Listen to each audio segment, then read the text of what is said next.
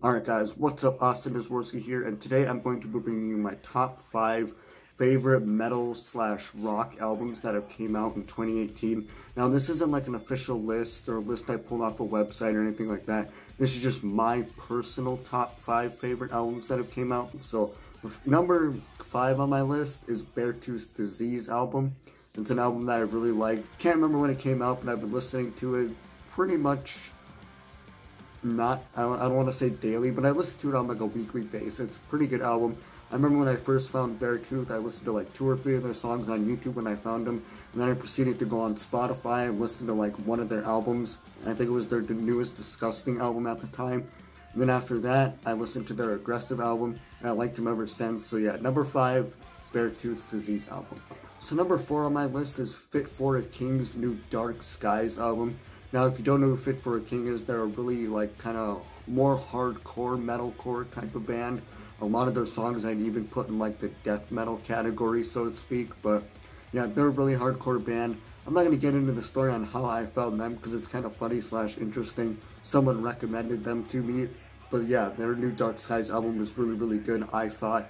A couple of the songs that I, that really stuck out for me on that album were when everything means nothing, especially the part where all the music cuts out and you just screams, let this destroy me, and it just goes to the breakdown. That part's fucking sick. I'll never forget that part of that song. Let this destroy me!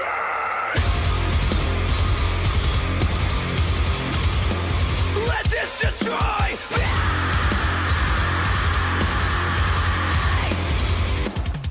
But anyways, another song I really liked on that album was their song Backbreaker that has like a really, really super long scream at the end. Fun fact, I looked up live videos of that song and he really can do the scream that long. At first I thought it was edited. No, it's probably a little bit edited in the song just to keep it louder and keep it, you know, sounding a little bit better. But live, he actually does do the scream that long. It's pretty sick, so check it out. Number three on the list is Blessthefall's new album, Hard Feelings. Now, this is a really interesting band that I found because they're metalcore, but I like their style of music and the style of production that they go with because it's kind of like a almost cinematic slash kind of inspirational sound to it. Like they got a lot of like it's like really melodic the way that they do it. So this album kind of stuck out for me. I like a lot of their songs on here.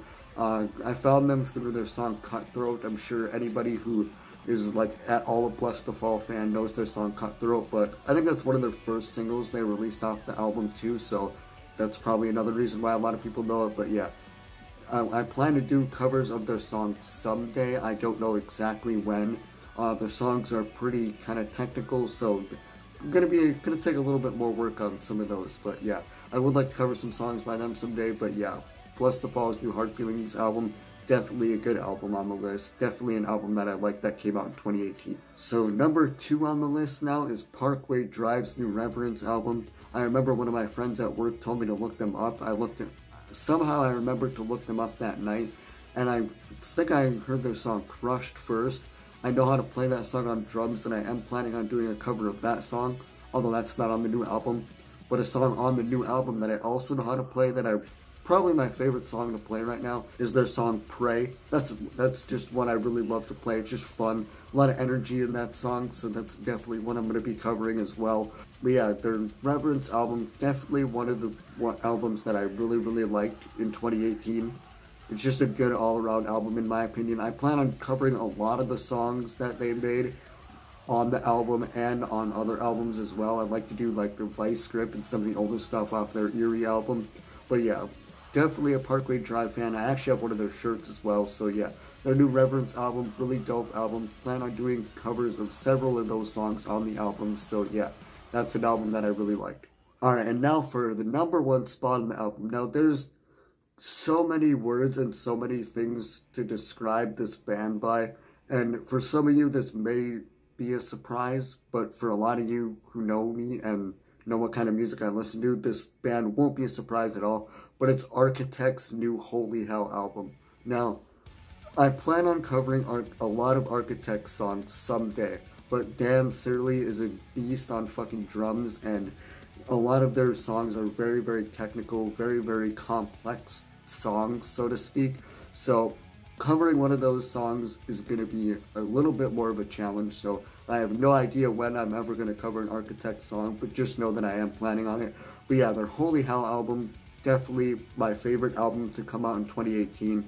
Listen to it on a daily basis, not even joking, literally. It's the whole album is in my metalcore playlist, which I listen to at work almost every single day. So yeah, I essentially technically listen to the album on a daily basis. So not only that, but this was the only album that came out in 2018 that I liked every single song on. There's not a bad song on the album, in my opinion. So, yeah, love the album to death. Love Architects. There's like a 90% chance I'm going to see them in May live.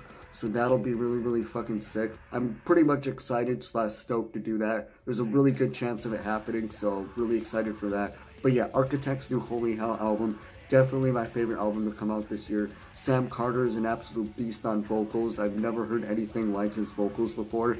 His vocal range and ability is just fucking mind-blowing out of this world. Not to mention the riffs are all killer fucking riffs. Like Doomsday that fucking riff and that just the whole instrumental side and lyric side of the entire album are just fucking outstanding, phenomenal work. I'm really, really excited to see what what they come with in the future because I'm a huge Architects fan, obviously. I remember my the day my friend showed me them and I just like proceeded to just binge listen to like all their music. I like a lot of their newer stuff. A lot of their older stuff is good as well. But yeah, Architects, definitely a huge fan of them. Definitely going to be following them for a very long time. And definitely a fan of their new Holy Hell album. But yeah, guys, I hope you enjoyed that video. Hopefully you like some of this list. Let me know if you listen to some of these bands or if some of these bands interested you. Um, if you don't know th these bands at all and you're kind of interested in looking them up, check them out. See if you like them. But anyways, let me know your top five albums of 2018 are. It could be metalcore, it could be rock, it could be whatever, you know, even if you're not a fan of any of this type of music and you listen to rap, you know, just share what you listened to in 2018 down below. I'd like to see what you guys are into as well. So yeah, those are my top five albums of 2018 and I look forward to 2019 and seeing what bands come out with in 2019 so that I can make a video at the end of the year again slash beginning of the next year. So yeah, looking forward to seeing what these bands come out with this year and looking forward to new music that's going to be coming out as well. So yeah, stay tuned for that. Also stay tuned for drum covers.